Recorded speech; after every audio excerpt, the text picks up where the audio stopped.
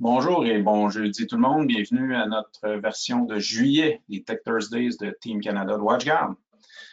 Euh, pour, avant de commencer, juste un petit peu de, de, de, consigne euh, en vous disant que tout le monde est en mode mute. Euh, mais si vous avez des questions, euh, gênez-vous pas. Vous avez un panneau de questions.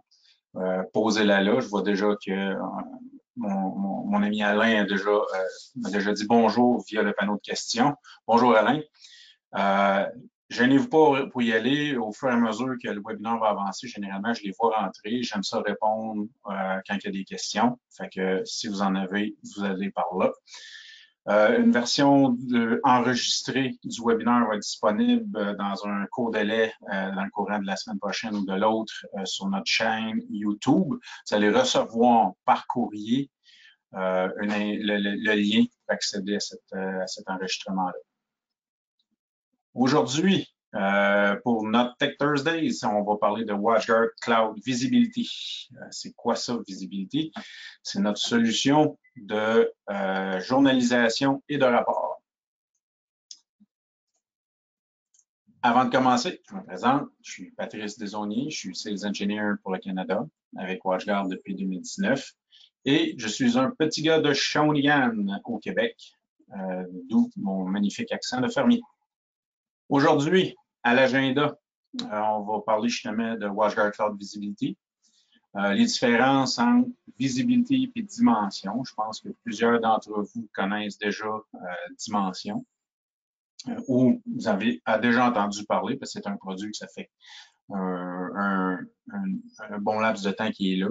On va faire les rapports entre les deux. C'est un peu la même chose. On va voir, on va aller voir les fonctionnalités de visibilité. On va aller se promener dedans, montrer un petit peu comment ça marche, donner quelques trucs pour optimiser ces choses-là. Et puis, euh, on va faire le tour. On va aller voir aussi qu'est-ce qu'il y a de neuf dans Watcher Cloud, présenter quelques nouveautés, justement, qui ont rapport avec visibilité. Et euh, vers la fin, on va juste faire le tour, un tour très sommaire parce que bientôt, on va probablement parler du euh, Firebox Cloud Management, qui est la configuration de la Firebox dans WatchGuard Cloud. Si on commençait avec visibilité. Là, les deux premières slides, euh, je les ai laissées là à la dernière minute sont en anglais, vous m'excusez, je vais quand même les traduire, mais j'ai pensé bon vous amener avec quelque chose qui est une portion de la vision de WatchGuard. Euh, un des éléments, je ne les ai pas toutes laissés là, mais un des éléments que je voulais vous présenter aujourd'hui, puis que je voulais qu'on regarde euh, euh, pourquoi qu'on s'enligne vers ça, c'est l'effet d'avoir une plateforme unifiée pour l'ensemble, une vision unique, une plateforme unifiée pour l'ensemble de nos produits, pour avoir le magnifique terme anglais single pane of glass. Puis être euh, attaché via toute une console où c'est qu'on va être capable de gérer toutes nos choses et avoir de la visibilité dans l'ensemble de nos produits WatchGuard. Un petit peu la plateforme, comment elle va s'orienter. On a nos éléments euh, autant endpoint. Vous connaissez, on, le, on, rabâche assez souvent. On a des produits de sécurité au niveau du endpoint. On a des produits au niveau de sécurité au niveau de la réseautique. On a nos Firebox, on a notre Wi-Fi, et là, c'est voulu qu'il y ait des cases vides ici. Mais c'est des choses qu'on va voir apparaître euh, dans le courant de l'année. Mais on touche déjà à des portions soit du périmètre ou du système d'accès au niveau du réseau, soit le périmètre avec le Firebox et euh, l'accès réseau, qui est un, des, éléments, qui est le Wi-Fi. Et on applique de la sécurité. WatchGuard, on a une entreprise de sécurité, fait qu'on applique de la sécurité à, ces choses-là. Puis on va nos produits dans le cloud, autant en point pour l'authentification, euh, on va avoir la gestion des Firebox, on va avoir euh, Active, Adaptive Defense 360 et on a vu sortir dernièrement la saveur WatchGuard de ces produits-là, des 360, Adaptive Defense et Endpoint Protection, avec un, on va dire, une, identité plus WatchGuard. On sait qu'on on les a renommés. EDR euh, et EPP est encore là.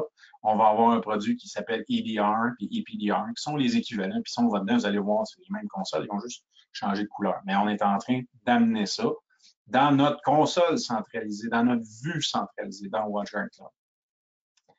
Tout ça va être ramené au niveau d'une plateforme unique où c'est qu'on va avoir de la visibilité, on le voit là. On va avoir notre télémétrie. visibilité et télémétrie. Télémétrie étant l'ensemble des informations. Parce que là, aujourd'hui, on va voir visibilité qui parle justement de notre télémétrie de nos Firebox. Quelles informations vont partir de notre périmètre, vont s'en aller dans WatchGuard Cloud, comment on peut les traiter? Et tout ça s'en va à la même place. On a vu que TDR est déjà dans WatchGuard Cloud. Si TDR, qui est une composante de notre suite totale, envoie aussi de la télémétrie des postes. On voit que Endpoint Protection s'en va dans, dans, le cloud. On a aussi des informations qui sont envoyées par ces, ces composantes-là dans WatchGuard Cloud. Et là, tout s'en va à la même place. Donc, on s'en vient avec une vue centralisée, unique de l'ensemble de notre posture de sécurité. Fait que c'est la chose que, vers laquelle on, va tendre. Et qu'est-ce qu'on a de voir dans nos attributs de notre chose? On va avoir notre single pane management. Ça, je, je m'excuse encore de l'anglais, mais c'est a été rajouté à la dernière minute. Ça. Mais puis notre vue simplifiée, notre vue unique sur toute notre télémétrie qui s'en vient là. Fait que ce matin, on est concentré sur notre télémétrie de nos Firebox, les informations, comment on va les traiter.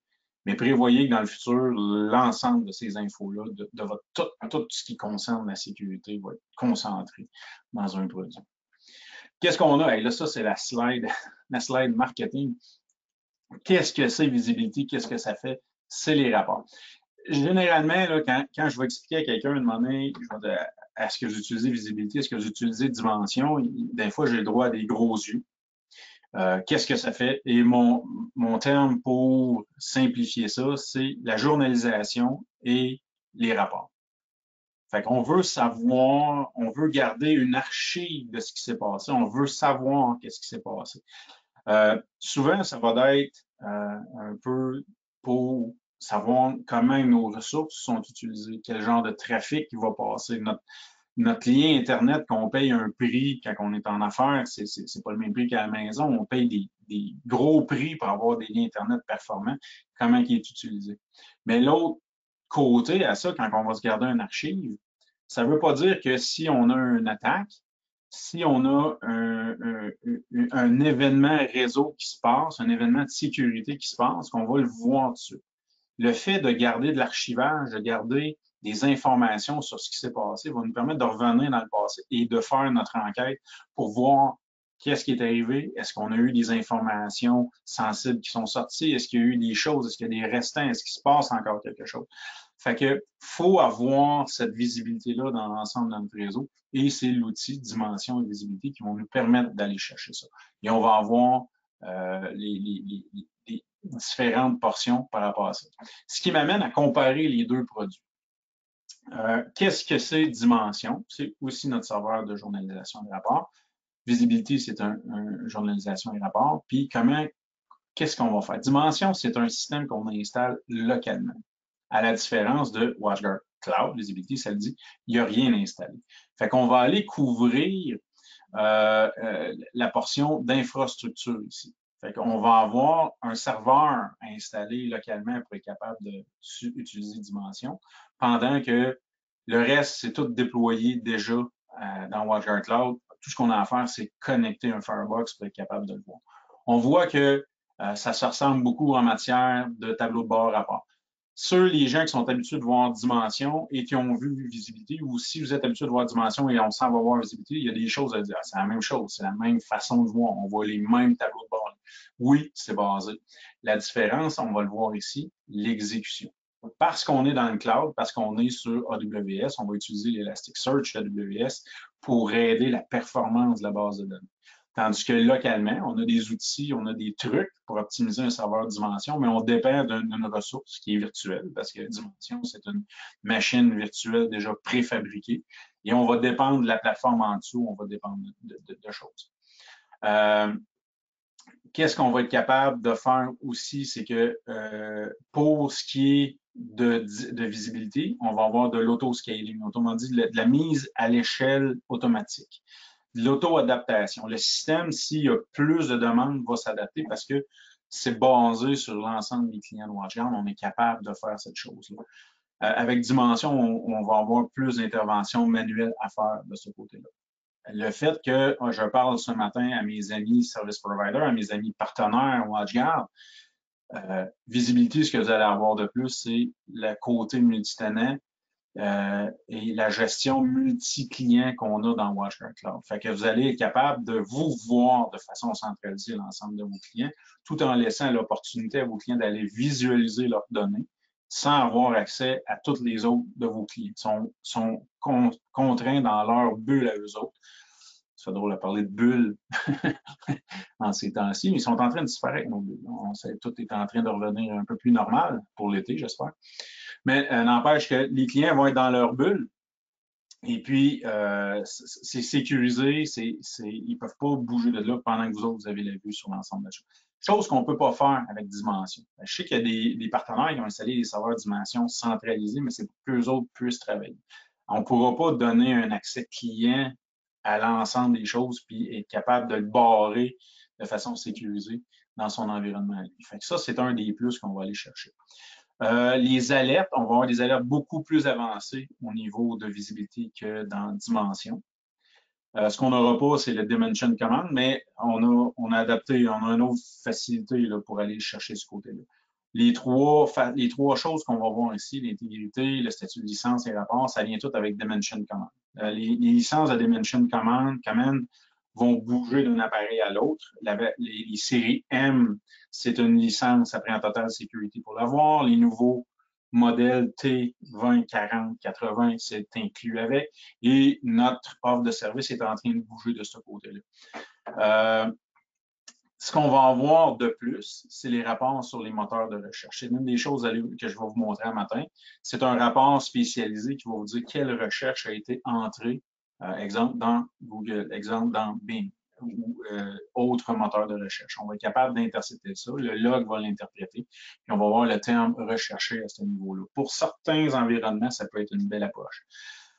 Euh, on va avoir une séparation des données clients qui revient à notre item ici multitiel, multitenant. Ce qui m'amène à dire, ce n'est pas exclusif. Ce n'est pas parce qu'on s'en va vers visibilité qu'on n'a pas à utiliser, qu'on ne peut plus utiliser dimension. Et on va le voir dans, puis je vais m'expliquer dans la prochaine slide ici. C'est que dimension, c'est un produit qui est inclus dans nos deux suites de sécurité. Et là, et là embarque le mais. Ce n'est pas inclus, ce n'est pas disponible avec un euh, standard support. un équipement qui n'a pas soit la suite de base ou la suite totale n'a pas accès à WatchGuard Cloud Visibility. Et les termes qui viennent, quand on a une suite de base, on a une rétention de un jour. Avec Total Sécurité, on a une, suite, une rétention de données de 30 jours. Donc, c'est la quantité de journées qu'on est capable de revenir en arrière. On va le voir dans la configuration, on est capable de garder autant euh, visibilité que dimension. Le truc qu'on va donner, pour l'ensemble des gens, c'est que vu que c'est pas exclusif, qu'on peut avoir les deux, si on a BSS et on a une journée, on veut quand même garder de l'archivage en arrière. On va utiliser Dimension quand même pour garder le plus longtemps de log, mais on va utiliser Visibility pour nos rapports réguliers, pour la vitesse, pour la performance qu'il va avoir là. Fait que l'ensemble du traitement de rapport va se faire là, mais quand on va vouloir aller fouiller dans les logs pour du passé, pour du plus loin en arrière, Là, on va aller dans dimension. Il va falloir qu'on s'adapte à la vitesse que lui va nous répondre. Plus on a de logs, plus il y a des recherches dans les tables qui sont faites, euh, plus les tables sont de, de, sommaire sont régénérées, ces choses-là. Euh, mais on peut quand même aller faire de l'optimisation à ce niveau-là. Même affaire pour le 30 jours. On peut avoir 30 jours. Pour certaines personnes, ils vont dire 30 jours, j'en ai amplement. Et on va rester là. Si on va aller plus loin, on peut aller avec dimension pour aller chercher six mois en, reculons, un an en reculons. Dépendamment de la politique de sécurité de votre client, on va aller chercher la quantité de rétention avec une combinaison des deux produits. Il y a quand même, si vous regardez dans la liste de prix, il y a quand même des SKU de rétention supplémentaires à cause euh, que c'est dans le WS, que c'est de la haute performance et des disques d'accès super haute performance, il y a un coût de rattaché à ça. Euh, peut-être qu'on pourra voir apparaître dans un futur euh, des, méthodes de rétention moins coûteuses, mais qui sont plus longues à atteindre, mais qui seraient quand même disponibles à voir. Euh, avant de sauter dans la vraie démo, je voulais vous donner les petits trucs et astuces qu'on a. Ce qu'on va voir, et on va faire une configuration, on va lier un Firebox à WatchGuard Cloud pour être sûr qu'il fasse ça. Ce que je dis à tout le monde, c'est activer les services de sécurité. Allez les chercher. Si, si on a une suite, un, ben, pas le choix. Si on va aller dans visibilité, ça nous prend un basic ou un total. On a App Control, on a Web Blocker. Euh, App Control va nous faire une classification, puis il va nous permettre de bloquer en fonction de la, classification des applications. Web Blocker va classifier les URL, puis il va nous permettre de bloquer. Geolocation va nous permettre de créer des listes d'origine de, et de les bloquer. Et là, j'ai dit dans ces trois exemples-là, et de les bloquer. Si on veut avoir des statistiques, si on veut avoir des belles informations dans visibilité et dans dimension, même si on ne bloque rien, ma suggestion est de créer une politique ouverte. Autrement dit, la défaut. App Control activé, aucun blocage. Web Blocker activé, aucun blocage. Géolocation activé, aucun blocage. Et on continue comme ça. Pourquoi? Parce que le fait de les avoir activés, on va en voir dans le log, on va avoir euh, euh, dans l'information l'origine, on va avoir l'application, on va avoir l'URL, et ces informations-là vont être envoyées à visibilité, et ça va nous permettre d'avoir des magnifiques rapports et des magnifiques statistiques en rapport avec ces informations. S'ils ne sont pas activés, vous ne les aurez pas. Donc, on se crée si on ne les utilise pas. Si on les utilise, tant mieux, c'est déjà fait. On les applique dans nos policies après, puis ça va fonctionner utiliser le service de décryption TLS, le DPI, le Deep Packet Inspection. On a fait, si vous allez fouiller dans nos YouTube, vous allez trouver un webinaire qu'on a fait sur le DPI, l'inspection de contenu. Euh, super le fun. Ce que ça nous permet de voir, c'est de la visibilité dans le HTTPS. Dans le webinaire, on parle qu'on veut avoir la visibilité dans le HTTPS pour être capable d'intercepter des malwares. Si on veut des statistiques, si on veut, exemple, si vous tapez google.com aujourd'hui, vous allez voir, il y a un canon. On est en HTTPS dans Google. Donc, si je fais une recherche, il passe en HTTPS. Si je n'ai pas ma décryption TLS d'activer, je n'aurai pas aucune information là-dessus. Donc, mon rapport sur les moteurs de recherche va être vide. Il n'y aura pas d'information. Donc, pour la visibilité pour les malwares, c'est la, raison principale. On active le TLS, mais si on veut la, la visibilité dans nos informations de journalisation, on l'active aussi. Donc, c'est une raison de plus pour aller chercher ça. Euh, activer les alarmes. Par défaut, c'est pas tout coché. Mais si vous voulez de l'information, si vous voulez des alertes, si vous avez un Fire Cluster installé et vous voulez voir les alarmes passer, allez activer les alarmes. Il y a une information, il y a un tag spécial dans le log qui va être inscrit email puis il va être envoyé, le log va être envoyé. Le log serait envoyé quand même à WatchGuard Cloud, à Visibility, mais le fait qu'on a mis une alarme dessus, ça va être, il va avoir un tag email. Et là, on va être capable d'aller dans euh, Visibility, aller dans, dans WatchGuard Cloud et configurer des notifications par courriel en fonction de ces alarmes. Donc, utilisez-les. Interface down, cluster, un événement cluster, les événements d'antivirus anormaux, ces choses-là utilisez vos alarmes. Essayez d'identifier vos usagers. Vos usagers, vous allez voir, par défaut, dans les logs, on a des adresses IP. On a une adresse source, on a une destination, mais sur plusieurs jours, si moi, je me connecte huit fois avec mon iPhone sur le réseau Wi-Fi, est-ce que je vais avoir huit fois la même adresse? Il y a des mécaniques sur les iPhones qui font des, euh, euh, variations des MAC adresses. Ça se pourrait qu'en faisant une variation de MAC adresse, j'ai jamais, jamais, jamais, jamais la même adresse IP. un iPhone, qu'est-ce qu'on peut faire? Quand on a un sans fil qui est en, en .1x, on peut aller chercher le, Radius Single Sign-On, ici le RSSO. Si on a des passes Active Directory, on a des usagers Active Directory, puis on, on est capable d'aller activer du Single Sign-On. On va identifier l'usager en fonction de qui est logué sur la machine. On a des agents, on a des mécaniques pour ça on peut avoir un portail, si on veut le faire de façon manuelle, pour aller identifier nos usagers. Ces informations-là vont être envoyées à Visibility, puis on va avoir une meilleure vue sur qui fait quoi. Euh, contrôler le niveau des journaux. Euh, on va être capable, il y a des fois les gens, ça je l'ai écrit, puis on va aller voir un petit peu comment on fait pour ceux qui ne l'ont jamais vu. Euh, debug versus le niveau debug versus erreur. Des fois, quand on va vouloir, puis si moi je parle avec vous autres, puis on cherche à régler un problème, souvent on va l'activer le mode debug en journalisation. Ça génère énormément d'informations. Ces informations-là sont envoyées à visibilité et à dimension. J'ai déjà vu des installations de dimension avec des disques, avec une bonne quantité de disques à faire remplir. Pourquoi? Parce qu'on avait laissé le mode debug activé, puis toutes les fois que le VPN se connectait, ça faisait 128 lignes de code par seconde pour rien, pendant que d'habitude, il en fait trop. on, va accélérer le processus de saturation des logs, des, journaux à ce moment-là. Il faut comprendre qu'on va l'activer pour faire un problème et revenir en mode normal, en mode erreur, euh, quand on n'aura plus besoin.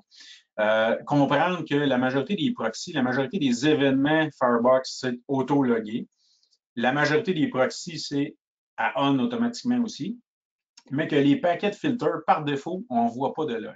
donc, pour vous autres, dans vos policies, allez activer les logs de ce que vous voulez voir comme statistique. On va avoir moins d'infos d'un paquet de filters, mais des fois, ça va nous permettre d'aller chercher des informations sur ce qui s'est passé.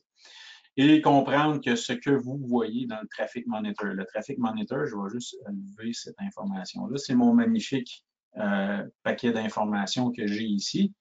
Ce qu'on voit là, c'est ce qui est envoyé à Visibility. Donc, si le, vous ne le voyez pas là, ça veut dire que Visibility ne le verra jamais. Vous n'aurez jamais de statistiques à ce niveau-là. Fait que, on est là. Démo, on va aller voir comment on fait ça. Fait que pour commencer, je vais euh, lever cette page-là ici. Euh, on va aller ajouter, on va aller voir, parce que là, actuellement, moi, j'ai déjà des informations. On arrive dans notre dashboard ici. Euh, où est-ce qu'on a nos informations, nos alertes, comment c'est passé point. Tantôt, j'ai parlé d'une vue simple, une vue unifiée, un single pane of glass. On le voit ici que ça commence à, être ça. On a notre authentification, point qui est à, notre place. Qu'est-ce qui s'est passé? Euh, est-ce que qu'est-ce qui se passe avec nos TDR ici? Qu'est-ce qui se passe avec nos protections endpoint ici, qui est notre EPDR, notre, Panda, notre Adaptive Defense, qui, est rendu ici dans, cette information-là. Fait qu'on a une vue simplifiée ici. Va falloir, pour être capable de recevoir des logs, j'en ai déjà ajouter une Firebox. C'est un processus qui est assez simple et comme d'habitude, je vais revenir avec le fait que euh, je suis vieux, euh, j'utilise Policy Manager depuis longtemps. Il y a moyen de le faire dans le Web UI aussi, mais je vais passer avec le Policy Manager. La première étape qu'on va faire, on va juste aller ici, on va, je vais réduire ça encore. Je vais aller dans mon client. On a notre vue avec notre Account Manager notre vue de client. On voit ici que c'est tous des clients qui sont managed, qui sont, c'est des clients gérés par nous et non pas des clients qui sont délégués. Si je fais une demande à un client pour avoir une gestion déléguée, autrement dit dans l'administration, le client a son propre compte watchguard.com, ses équipements sont activés dans son compte à lui watchguard.com, j'ai quand même moyen d'aller le chercher pour avoir accès à la visibilité pour ce client-là. Mais il va avoir une note ici qui va être écrite délégué et non pas manage comme on est. Actuellement, on est manage. J'ai assigné par mon inventaire des Firebox à mon client, pas de WGSE. Donc, dans Monitor, je m'en viens dans Device ici. On voit déjà que j'en ai connecté. Ce que je veux faire, je vais en ajouter. On va aller sur les trois points là ici, puis on va aller cliquer Add Device. Ce qu'il fait, il vérifie dans l'inventaire. Puis, qu'est-ce que j'ai d'activé dans l'inventaire qui n'est pas déjà là? Il va me le montrer ici. Actuellement, il me reste un M370 qui n'est euh, pas activé encore. Fait c'est le Policy Manager que j'ai levé tantôt. C'était la configuration du M370. On a un nuage avec le plus au bout. On va cliquer dessus. On va aller cliquer sur Ajouter device. On pourrait faire cancel là. Si je me rends compte que ce n'est pas le bon numéro de série, ce n'est pas le bon équipement qui était assigné au client, ces choses-là, je peux revenir en Add device. Et là, il nous demande de choisir. Est-ce que je veux Cloud Manager? Non, non, non, non. C'est un équipement qui est déjà déployé. Il est déjà géré localement, locally managed. Ce que je veux, c'est juste avoir le, le cloud reporting et le laisser gérer de façon locale. On va voir tantôt Cloud Manage, qu'est-ce que ça nous donne de plus? Juste pour noter ici que on parle de local et de cloud management. Eux autres, ça, ça c'est exclusif. soit qu'on est en visibilité dans le cloud puis on le gère localement, ou on est en cloud manager où on va avoir la visibilité aussi dans le cloud. Mais je ne peux pas être géré localement et cloud en même temps. C'est un ou l'autre. C'est une des raisons pourquoi que, euh, je vais tout expliquer ça tantôt finalement. Fait que dans ce cas-là, on a une boîte qui est déjà en fonction. Elle a déjà, on va voir ici, j'ai déjà des configurations dedans. Je ne veux pas la passer en Cloud Manage, je vais l'avoir juste en rapport. En rapport, puis je vais la faire ici. Euh, il va me demander, est-ce que je veux faire euh, appliquer un code de vérification? À noter encore ici que tous les nouveaux modèles, les modèles récents, ils ont des TPM, des Trusted Platform Modules dedans, qui est des chips d'identification. Donc, ici, MX70, les T20, 40, 80 ont des TPM. Fait qu'ils vont nous inventer un code, mais ils n'en auront pas besoin parce que l'appareil va s'auto-identifier. Mais il va quand même nous en générer. On pourrait faire un setup avec Rapid Deploy ou est-ce qu'on pourrait aller porter une configuration d'un appareil qui est en mode euh, factory, qui est neuf, flambant neuf, jamais utilisé, sorti de la boîte. Par défaut, les appareils, quand ils se connectent à Internet en factory, ils vont faire un appel chez WatchGuard et ils vont dire Hey, je suis neuf, as-tu quelque chose pour moi? Et ça serait avec Rapid Deploy. On pourra faire une session là-dessus plus tard. Et là, la configuration pourrait être envoyée automatiquement à l'appareil, aussitôt qui est capable de se connecter à Internet. Fait que pour des déploiements, si on ne veut pas avoir à recevoir Exemple, un, Firebox, le sortir de la boîte, mettre un technicien pour le configurer par défaut. On pourrait l'envoyer directement chez le client, donner des instructions, brancher tel port à telle place, brancher tel port à telle place. L'appareil va se connecter, va recevoir sa config. Ça serait avec Rapid Deploy qu'on fait ça. On va y aller avec la méthode de code de vérification. Comme je vous ai dit, j'ai un M370. Fait il, fait, me fait apparaître un code ici. Mais vu que c'est un M310 qui est un TPM, il ne me le demandera pas. Je vais quand même le copier. Puis je vais dire donne ici. La raison pourquoi j'ai fait copier, c'est que euh, si je le fais pas, il va me dire t'as oublié de copier le code. Euh, par défaut, je, vais le faire. Parce qu'il y avait comme une espèce d'intelligence de si tu fais done, puis tu aurais besoin de rentrer le code, on va revenir en arrière. Ce qu'on va faire maintenant, il est en attente. J'ai un 310 avec un bouton gris ici à côté, un bouton non connecté. Puis il tombe en attente. Ce que je vais faire, je vais aller dans ma configuration. Je vais réduire ça pour avoir une meilleure visibilité de mes fenêtres. Dans le menu Setup, on va avoir un WatchGuard Cloud dans le bas, ce qui est assez simple. Et tout ce que j'ai à faire, c'est de dire Enable WatchGuard Cloud. Fini. OK. Je vais aller pousser ma configuration.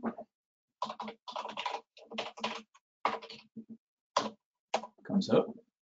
Espérant que je n'ai pas fait des gros doigts ce matin. Je vais sauvegarder ici. Et si on avait eu un appareil de plus vieille génération qu'on aurait voulu brancher à WatchGuard Cloud, il y a une version minimum en passant, euh, qui est 12.5.3, 12.5.2. Euh, il m'aurait demandé ici, as-tu le code pour être capable de m'identifier? Encore là, je répète, parce que j'ai un appareil avec un TPM, je vais l'avoir. Actuellement, ah, c'était ça que je voulais vous montrer. On va aller ici. Je vais revenir dans mon front panel on a actuellement WatchGuard Cloud. Je, l'avais préparé pour le montrer, puis finalement, j'ai sauté dans le Traffic Monitor. On voit ici que notre item WatchGuard Cloud, on est Management Disable, Visibility Enable. Donc, on a le statut de nos deux fonctionnalités WatchGuard Cloud pour le Firebox. C'est tout ce qu'on voulait, le Visibility. Puis, on voit qu'il est bien connecté, il n'est pas en problème à ce moment-là. Donc, on sait qu'on est connecté. Si on veut le voir, je vais réduire ça ici. Réduire ça ici. On va retourner dans mon Normalement, on devrait avoir ici un appareil qui est connecté. Si je réfléchis ma page au complet, on va aller voir le statut qui devrait être vers au complet ici. Donc, il est connecté. On va voir que j'ai maintenant des actions que je suis capable de prendre sur l'appareil, Reboot Device, où il va me dire, oh, j'ai pas la dernière version de firmware, je serais capable à partir d'ici de faire une mise à jour. Euh, dans mon cas, euh, vu que j'active les bêtas sur à peu près toutes, on va voir qu'il y, a une attente pour le bêta 4 parce qu'il y a eu un correctif à appliquer. Donc, je pourrais cliquer ici et forcer la mise à jour. Je pourrais le faire pour l'ensemble de mes appareils si je m'en viens dans mon item ici, que je m'en viens dans Configure, Device. On va aller chercher comme ça, comme ça. On va aller chercher mes firmware upgrade. Et là, on aurait l'ensemble de mes équipements. Ça, ce sont les actions que Visibility nous permettent de faire. On n'est pas obligé d'être en gestion pour avoir accès aux upgrades de firmware. La beauté de ça, c'est qu'on a accès à la dernière version sans avoir à la télécharger pour l'ensemble des équipements. Fait que là, j'ai des T35, j'ai des M370, j'ai des Firebox virtuels, j'ai des Firebox Cloud Azure. Euh, j'ai pas, là, j'aurais des T20 puis d'autres équipements dans un autre dossier. Que ça m'évite d'avoir à télécharger toutes ces belles versions-là, des appliquer, puis de, de, le mettre, et ça me donne une gestion centralisée. Quand je vais faire upgrade firmware, je vais être capable aussi de dire je veux le faire maintenant. Je vais aller chercher suivant ici. Je vais aller chercher mon appareil, mais je ne la ferai pas, mais je pourrais faire une cédule. Donc, je pourrais dire je vais upgrader à 11 heures à ce moment. Donc, ça me permet cette flexibilité-là d'avoir, euh, de, de céduler en dehors des heures et de préparer une mise à jour on va avoir une alarme si l'appareil qu'on est capable de se configurer, si l'appareil, au bout de cinq minutes, qui n'est plus connecté à WatchGuard Cloud, on pourrait recevoir une alarme par courriel qui dit on a un problème avec cet équipement, qui nous permettrait de faire un suivi à ce niveau-là. Donc, on a un appareil d'ajouter, ce qui va nous permettre d'aller chercher les logs.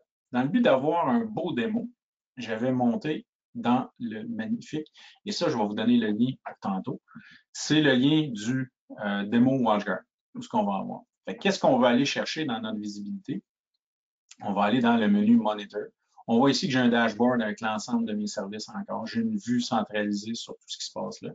Et là, je vais aller faire Monitor puis mes devices, dans mon cas ici.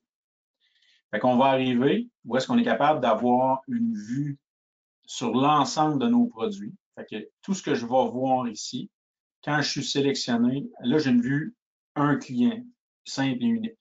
Si je veux revenir euh, à, la, mode, je peux me promener ici d'un client à l'autre et avoir accès à l'ensemble de ces informations. Je ne pourrais pas l'avoir pour tous mes clients en mode overview, mais j'ai l'ensemble de mon client PAD WGSE, l'ensemble de mon client la PAD Data, où je peux aller chercher par device. La vue que j'ai ici, elle, elle est que pour un client, vu que ce n'est pas un service provider. Mais je vois en haut que j'ai une, une information agglomérée de mes devices. Donc, si je m'en vais dans mes dashboards et que je commence mon dashboard exécutif, ce que je vois là, c'est mon agglomération de toutes mes Firebox. Donc, on va aller voir, je vais passer à travers assez rapidement. Ça, vous pourrez jouer avec, mais on va avoir des, euh, les dashboards vont donner une vue à haut niveau de qu'est-ce qui se passe. Mes top clients, mes top sites, mes top URL, mes top applications, mes top catégories, tout ce qui sort de l'ordinaire, qu'est-ce qui se place dans le haut, on va le voir ici. La différence qu'on va avoir, dans le cas de mon démo, il y a une, identification par usager euh, qui est actuellement sur le domaine wgdemo.local. Je vais remonter encore mon autre ici. On va aller voir actuellement sur ici. Si je m'en vais dans Monitor Device, on va aller voir que dans mon dashboard, j'ai pas la même information. Dans mon lab, je suis encore en mode adresse IP ici. Donc, ce qu'on va voir, parce que j'ai un cluster, la façon d'aller changer les adresses IP en quelque chose, euh, ça peut être le 52, ça peut être pas le même usager parce qu'il y a eu du switch de DHCP, c'est des adresses DHCP, c'est pas des adresses statiques. La solution, c'est pas nécessairement d'aller mettre des adresses statiques à tout le monde. Je ne recommande aucunement ça. Un, on, enlève notre flexibilité réseau. Euh, on n'a pas accès à tout ce que le réseau est capable de faire. Ce qu'on veut être capable de faire, c'est des identifier. On va voir ici que P désigné A commercial Radius. Tantôt, j'ai parlé de Radius Single Sign-On. Ça, c'est quand je me connecte à mon Wi-Fi avec des appareils personnels mobiles. Je ne sais pas une clé partagée. Je fais affaire avec un Radius. Et le Radius va envoyer l'information pour dire que telle adresse IP, telle session au réseau est associée à l'usager PDZone, ce qui me permet d'identifier mon usager dans mes logs et non pas avoir un paquet d'adresses IP. L'avantage qu'on va avoir, dans mon cas, vu que j'ai un cluster, ce n'est pas possible, mais dans le cas d'un Firebox simple, quand le Firebox est serveur DHCP, il va aussi envoyer les informations de qui et quelle adresse IP. Donc, on va pouvoir avoir pas un nom d'usager, mais un nom de device ici, dans l'adresse IP. Donc, au lieu d'être simple, on va avoir une information plus complète au niveau du nom du device. Fait que nos logs vont être mieux arrangés de ce côté-là. Je reviens dans mon démo ici que lui a identifié les usagers par du single sign-on, mais euh, avec Active Directory, qui est une façon de faire assez répandue, qui est le fun à, faire. Fait qu'on va avoir nos informations. On va avoir l'ensemble de nos dashboards, nos top, top, top, top, top, top, puis on est capable de se promener là-dedans. Même affaire au niveau de nos services de sécurité. Ça, ça va nous donner une idée des, problèmes de sécurité, comment que les, comment les choses euh, euh, vont, vont, réagir. Euh, autrement dit, qu'est-ce qui a été bloqué? Justement, la Russie, la Chine, on va voir qu'est-ce qui s'est passé là. Comment nos services ont, ont, ont travaillé. Et là encore, c'est une vue à haut niveau de ce côté-là. Qu'est-ce qu'on a eu de bloqué? Les bot networks, les games. Oh, on a des catégories sexes qui ont été bloquées. Des sites, des compromise websites. Ça, c'est les par défaut, sont quasiment tous bloqués. Phishing and other fraud. C'est par défaut, quand vous activez le web blocker, sont, sont bloqués ces choses-là. ça, c'est mieux. Nos, comment nos subscriptions ont travaillé? Fait que là, on va avoir des statistiques. Est-ce que j'ai eu des blocages à ce niveau-là? Les trois prochains, ce sont des vues très euh, encore là, euh, on est dans les dashboards, le threat map, voir de où proviennent les menaces. Actuellement, on a eu des blocages, il y a eu des choses. Et là, on voit qu'est-ce qui est allumé, c'est qu'il y a eu des choses de fait. Actuellement, je peux aller voir États-Unis. Ce qui me permet, c'est qu'on est capable de cliquer dessus. Puis là, on va voir qu'est-ce qui s'est passé. Ah, là, on voit qu'il y a eu plusieurs blocages. 549, 550. Oh, il y, a, il y a quelque chose qui se passe ici. Sur euh, au niveau de Bellevue. Euh, à partir, excusez, à partir de Bellevue, de l'adresse IP X, puis qu'il y a eu des tentatives sur le port 2528. Fait que là, il pourrait, ça pourrait nous donner un indice qu'il se passe quelque chose, vu que, un, les adresses switch, les comptes sont souvent pareils. C'est le même port qui a une tentative d'attaque. Fait qu'on va voir qu'est-ce qui va se passer. Fait qu'on est capable de se passer. Le Firewatch, même chose c'est une vue avec de la proportionnalité. Donc, qu'est-ce qui a pris le plus de place? Et là, on va voir que les sources, on a nos noms d'usagers ici comme, comme on est euh, comme on, est capable d'avoir l'information dans, le premier dashboard que j'ai montré. Euh, on voit que c'est lui a 500 000, 400, fait qu'on voit une proportion. Donc, nos plus petits ont presque rien eu. Fait qu'on est capable d'aller faire déjà un filter, puis d'aller voir qu'est-ce qui s'est passé pour cet usager-là et de voir les, trafics. Là, on va changer en mode domaine et on voit que la majorité de son trafic s'est passé pour windowsupdate.com. Ah, OK. Fait là, on est correct. On peut faire un clear. On revient à nos sources et puis là, on va aller voir Rex. Qu'est-ce qui s'est passé? Là, on va avoir des vues très euh, visuelles de comment ça se passe. Puis, d'un fois, aller juste vérifier ça voir une anomalie, voir que, oh, il, y a beaucoup de trafic qui se promène vers, exemple, Netflix. Ah, fait qu'on a quelqu'un qui mange notre bande passante au niveau de Netflix. Fait que c'est la façon un peu de se promener. On a nos, nos items en haut. Même affaire avec la policy map, ça va nous permettre de visualiser. On l'avait dans Dimension, ça. Et là, je vais juste le descendre. On voit exactement les qu'est-ce qui était logué par rapport à nos règles. D'où tantôt, quand je vous ai dit, qu'il faut activer les logs pour être capable d'avoir des informations. Pour être capable d'avoir cette policy map-là, il faut que nos équipements envoient les logs. Suite après ça, je vais aller vous montrer comment on va organiser ça. Mais là, on va voir que, exemple, HTTPS euh, proxy, je serais capable d'aller faire un filtre à ce niveau-là, puis de dire, OK, comment cette règle-là, elle a réagi? Et là, on va voir que ça passe de trusted vers là, vers là. Et oh, on a un deny qui est apparu. Oh, un de seul. Si j'avais eu le contraire, un paquet de puis un seul permis, puis que ce n'est pas l'intention de la règle, ça nous permettrait de détecter visuellement des problèmes un peu plus rapides. Qu'est-ce qu'on va faire? Je vais réduire ça ici pour aller visualiser nos règles. La première chose, tantôt, j'ai parlé de euh, On sait que les proxys, les proxys qui sont généralement identifiés par des boucliers ici, vont envoyer des logs de façon automatique. On n'a pas grand-chose à faire. Euh, là, c'est déjà Par contre, quand on a des paquets de filters, euh, on va vouloir avoir des logs, mais peut-être qu'on ne les veut pas tous. On va identifier qu'est-ce qui est logué par le petit logo euh, ici, qui est comme une feuille, une, feuille avec des lignes rouges, vertes et bleues dessus. Comme mon DNS, actuellement, si je, clique sur ma règle, je vais dans mon menu, menu Properties, j'ai un onglet Logging. Actuellement, je vais faire Send Log Message il n'est pas coché par défaut. N'importe quel autre paquet de filter que je vais avoir créé, exemple, euh, WatchGuard Web. Oui, je vais y aller ici. Par défaut, login, n'est pas activé. Je pourrais dire maintenant, je veux à toutes les fois qu'il y a euh, un événement que il y a une tentative de Any Trusted in Channel sur l'adresse Firebox sur le port 8080, tu génères un log. Donc, on aurait de l'information là-dessus, on aurait des statistiques sur cette règle-là. Il reste à voir, est-ce que vous voulez vraiment voir tout? Normalement, plus qu'on en a. Il y a peut-être des choses qui génèrent des logs pour rien, puis qu'on ne veut pas, on veut pas, on veut garder ça un peu plus, euh, euh, je dans la tête, mais un peu plus euh, clean comme information. Euh, c'est un petit peu on, va pouvoir se créer des politiques puis pas loguer une, politique pendant qu'on log le reste puis travailler à ce niveau-là. J'ai une question de Jean-François. Euh, oui, j'ai prévu montrer, euh, là on parle, c'est un overview de Cloud Manage, c'est pas une formation.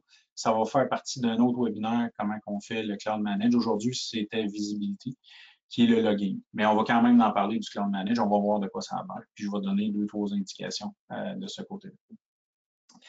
L'autre chose, pendant que je suis dans mon Policy Manager, si je reviens ici, euh, c'est quand on va aller dans le menu Setup, oups, je partout, on a un item Login ici. Pour ceux qui ne le savaient pas, on est capable d'ajuster nos logs de diagnostic. Ça définit quelle information est envoyée euh, à Traffic Monitor par le fait même à Visibility puis Dimension. Le settings par défaut, c'est erreur qui envoie exactement les informations. Si je lève ça ici, c'est ce qu'on va voir. C'est ces informations-là. Si j'ai un problème, dans un cas, on pourrait aller dire que maintenant, tout ce qui est authentification, je veux avoir une information plus élevée, soit des bugs, soit information. On va aller, on va aller jouer avec ça et ça va envoyer vraiment comment le processus a travaillé. Exemple, on est en train de travailler sur le VPN, on est en train de travailler sur l'authentification, sur le Firebox pour identifier nos usagers, puis on a des problèmes, on ne sait pas comment ça répond, puis on n'a pas assez de logs. On pourrait aller le mettre en mode debug. Toutes les mécaniques d'authentification, autant au niveau l'accès du Firebox, des administrateurs, du VPN, euh, de l'authentification usagée dans le but de travailler les politiques, on va avoir plus d'informations. Oubliez pas, c'est ce que je disais tantôt, c'est si on a fini notre debugging puis qu'on ne vient pas refaire ça, toutes ces informations-là vont tout le temps être envoyées puis on va saturer nos logs.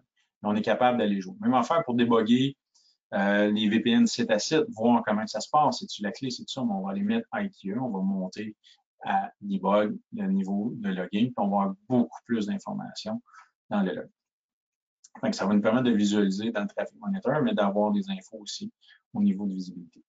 je reviens dans mon démo ici pour faire les choses. Fait que là, on va avoir des vues encore aériennes. Là, j'ai passé à travers euh, les dashboards. On va avoir nos clients plus actifs. Il faut retenir que dans le coin en haut, j'ai tout un item PDF qui nous permet de sortir un rapport rapide de la vue qu'on a. L'autre item qui je veux apporter votre attention, c'est le, euh, le sélecteur de temps ici. On n'oublie pas que une suite de base, c'est 24 heures, une suite totale nous donne 30 jours. Fait que là, on serait capable d'aller voir dans le passé qu'est-ce qui s'est passé les derniers 7 jours. On pourrait aller faire une sélection de dates de façon euh, euh, custom, de façon euh, adaptée, si on veut chercher ce qui s'est passé samedi passé et pas avoir d'autres informations, bien, ça serait la façon de faire. Si j'ai 30 jours à ce moment-là. Et j'aurais mon PDF, il me sortirait l'information. Là, on a des vues aériennes sur nos choses les plus populaires. Euh, on va être capable d'aller changer, soit par hit ou par byte dans le coin en haut. Même affaire au niveau du trafic. Fait que là, on était dans les activités web. Autrement dit, qu'est-ce que nos proxys HTTP, HTTPS ont réussi à capturer?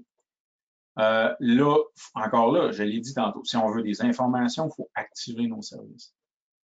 Euh, le, au niveau du trafic, on va s'en tenir à ce qui s'est passé avec nos packet filters. D'où la démonstration que je viens de vous faire, activer des logs à ce niveau-là.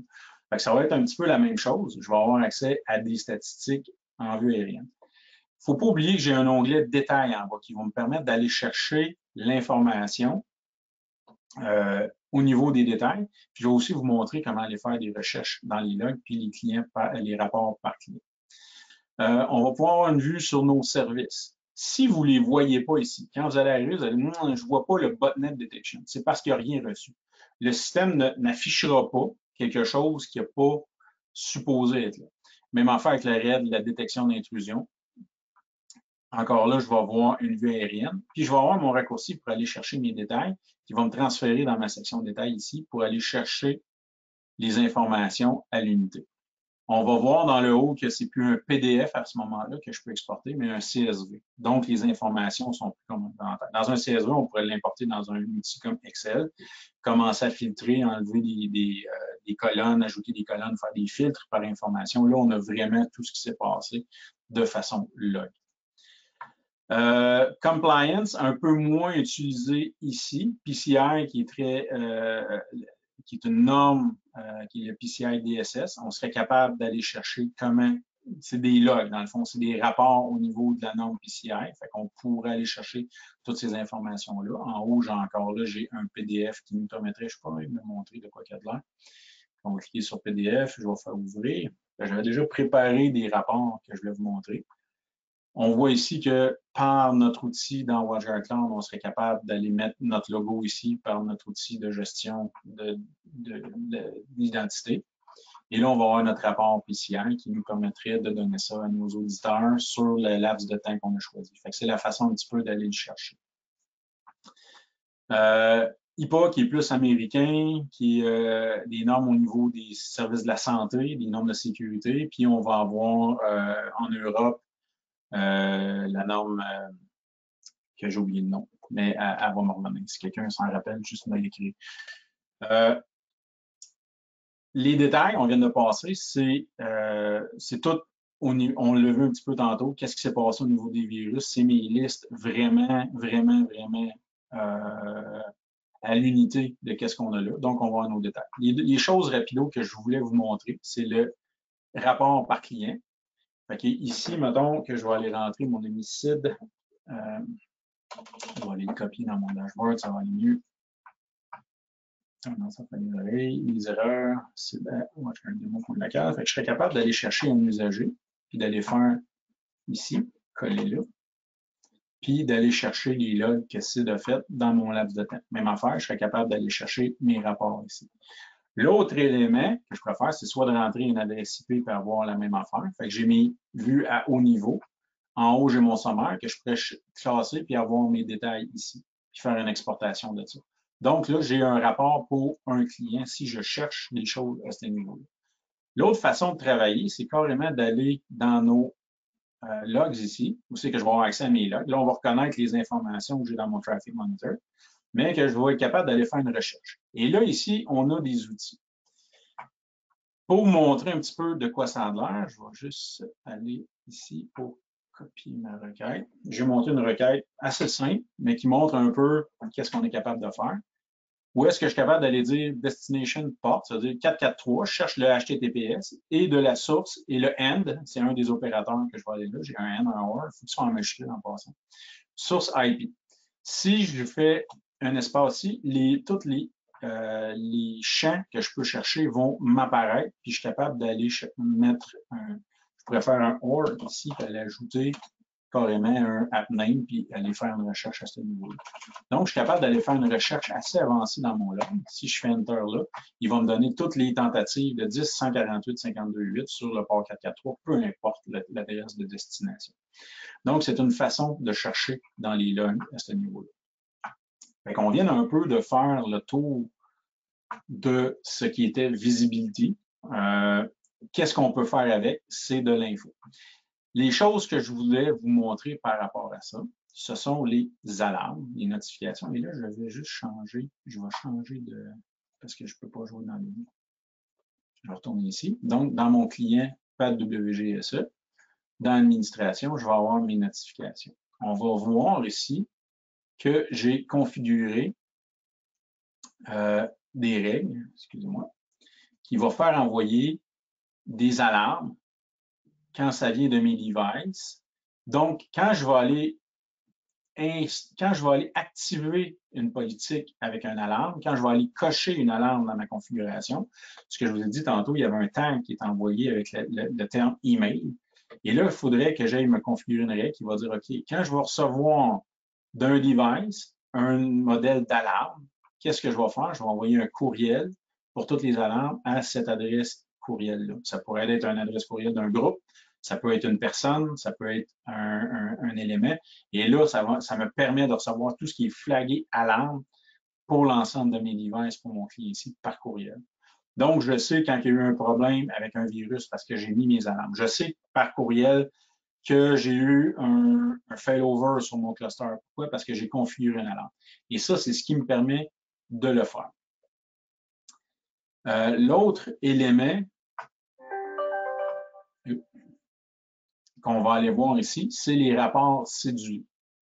J'ai une liste de rapports. Si je vais faire Add Schedule, je vais, aller en rentrer un comme ça sur mes Firebox. Next. J'ai une liste assez exhaustive de rapports déjà préfabriqués que je pourrais déjà faire.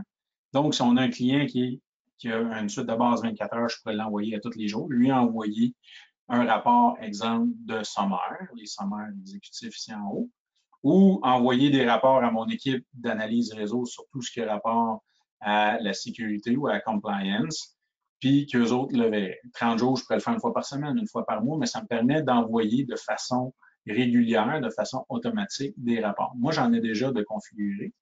Exemple, si on va ici dans ce rapport-là, on va voir ici que j'ai un rapport, euh, le, sommaire, euh, sommaire euh, exécutif. J'ai de avec mes mots ce matin. Où est-ce qu'on a une vue très, comme les dashboards, très aérienne. Mais là, on va voir que Intelligent AV a fait six scans. Est-ce que j'en ai un nombre excessif? C'est vraiment un rapport qui va me donner l'information sur euh, qu'est-ce qui se passe. 11G, TikTok, est-ce que j'ai une opération à faire? C'est sûr que j'ai juste une info, mais ça me dit, est-ce que je vais voir pour aller creuser, pour aller plus creux dans mes domaines? Qu'est-ce qui se passe? On voit que chez nous, euh, Netflix, puis Xbox, c'est euh, TikTok, c'est des ados que j'ai dans la maison. Et ils travaillent juste les fins de semaine. C'est ce qui se passe la semaine. Il y a beaucoup, beaucoup de, trafic sur des choses là-dedans. Mais on a une idée de qu'est-ce qui se passe. Fait que ces rapports-là, on est capable de les envoyer euh, automatiquement sur des, bases régulières. Euh, fait que ça faisait un peu le tour de nos choses. Je suggère de faire des rapports cédulés pour au moins avoir une idée de qu'est-ce qui se passe et les alarmes de commencer à les activer autant sur vos choses. Je vais retourner vite dans, euh, comme ça, dans ma présentation pour faire la suite. Les nouveautés dans WatchGuard Cloud, qu'est-ce qu'on va voir pour vous autres, nos partenaires euh, de, nos partenaires de services, ceux qui donnent des services? On a euh, activé dernièrement les, ce qu'on a appelé les account groups, où est-ce qu'on peut aller faire des groupes dans le menu administration, le menu account group, aller donner, aller mettre nos comptes dans certains groupes qu'on pourrait assigner à des techniciens et gérer la sécurité par technicien en fonction de ces groupes-là.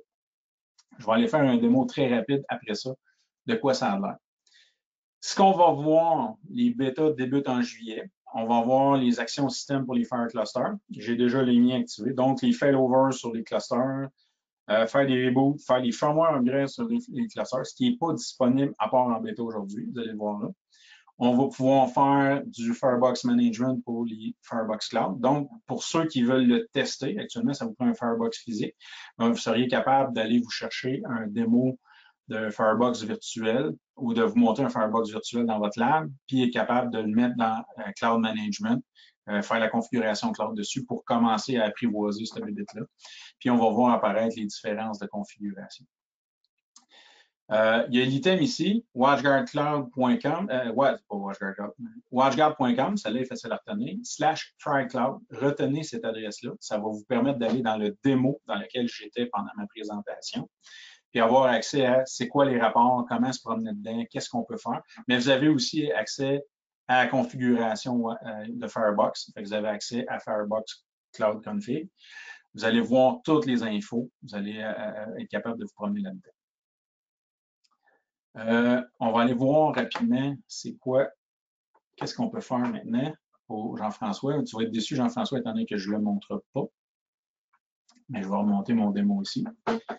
Fait que, au lieu d'aller dans Monitor, on va aller dans le menu Configure, puis on va aller dans le menu Device, ici ce que je vais faire, je vais aller chercher mon ami Oregon, puis je vais aller chercher mon Firebox TV. Ce qui vient d'apparaître dans le menu, c'est device configuration. Tantôt, on avait, euh, euh, on pouvait jouer avec les firmware, on pouvait faire des reboots. Quand on va aller brancher un Firebox, on a vu tantôt comment on connectait un Firebox dans le système. Et là, ça va nous permettre d'aller le configurer. Je répète, actuellement, il n'y a pas d'outil de d'une configuration existante vers Firebox Cloud et c'est exclusif. Quand il est cloud, il est cloud. La seule fenêtre qu'on a en Web UI, c'est est-ce qu'il est connecté ou pas au cloud. Euh, la recommandation, ce sont des nouveaux déploiements. Dans le cas de vous autres partenaires, d'y aller quand, on a un nouveau partenaire, on va commencer à regarder cette fonctionnalité-là. Qu'est-ce qu'on peut faire avec le, cloud? On va avoir des vues plus centralisées. On va avoir accès, un, au templating. Donc, si je m'en viens ici, on va voir en bas que j'ai un item qui s'appelle Firebox Template. Ça, va me permettre, comme partenaire, d'aller créer des templates de configuration, d'aller créer mon intelligence d'entreprise et de la déployer à mes configurations de clients. Donc, on, on s'en vient avec un outil de gestion centralisée. Donc, tranquillement, quand vous allez commencer à migrer vos installations sur Cloud Management, ben, l'utilisation des templates pourrait être euh, un très, très bon outil pour vous autres. Euh, comme ici, mettons, on a mis le Golden Scenario, qui est la, la, Golden Config, que c'est par défaut, tous mes clients ont ça. Je l'applique ici, puis ça me permettrait de... Il y en a capable de créer des... Dans, si je reviens dans mon autre vue ici avec ça, je suis capable de créer des templates à mon niveau provider. Je suis capable de créer des templates au niveau client. Donc, si un client veut des templates particuliers, puis je peux faire des configs à l'unité. C'est une des facilités qu'on va avoir ici. L'autre, c'est la centralisation euh, euh, des, autant des politiques que des services de sécurité. On va voir que si je vais dans exception, il va y avoir des exceptions qui sont, qui sont ajoutées, mais toutes mes exceptions, que ce soit pour mes block sites, pour mon web blocker, pour tous mes services qui ont, par exemple, mon, mes exceptions de, de TLS décryption, ça se fait là. Donc, j'ai une vue centralisée pour l'ensemble de mes exceptions. Ça m'aide, c'est plus visuel, c'est un, c'est une des raisons pourquoi on n'est pas capable de migrer une configuration actuelle à cause du changement de vue, du changement de vision par rapport à la config. Fait que ça, c'est une des choses qu'on va avoir ici. Vous allez le voir la même affaire dans les services de sécurité. Exemple, mon filtrage de contenu. On a pris deux services qui, à chaque fois que j'en parle, que je dis ils travaillent ensemble, euh, mais on les configure de façon séparée dans le Policy Manager dans le Web UI à ce niveau-là, ici, je vais dire, OK, quand je vais vouloir aller faire un, blocage d'un outil ou d'un site, ou de, on va donner, le dire, Facebook, exemple. Bien, normalement, on va avoir WebBlocker, mais il y a aussi des applications qui ne passeront pas par les proxys, on va vouloir le faire par l'application. Là, ici, c'est d'une façon centrale. Je vais voir autant mes deux produits. Dans le back-end, on va les configurer euh, App Control, on va les configurer WebBlocker, mais ça, vous autres, en mode configuration, ce n'est qu'une seule vue. On va avoir la même chose au niveau du VPN. Aussitôt qu'on va avoir des équipements, je vais aller dans mes VPN, je vais être capable d'aller créer des VPN entre deux équipements dans le même. Qu'est-ce que ça va faire? C'est que ça me permet de les sélectionner et ça va les configurer automatiquement. Je fais rien dire, OK, je veux mon T20 vers mon T40, il me dit vers quelle interface, c'est fini. Boum, il va configurer le T40 et le T20 quand je vais faire appliquer en bas pour faire monter mon VPN. Donc, mon, ma config est plus fun. On est encore quand même capable de faire du VPN vers des tiers parties. Euh, euh, où c'est qu'on va avoir une configuration plus manuelle avec une clé partagée, ces choses-là. Mais quand on a des équipements dans le même client, on va être capable d'aller chercher une config beaucoup plus rapide, case à cocher, c'est fini, c'est envoyé.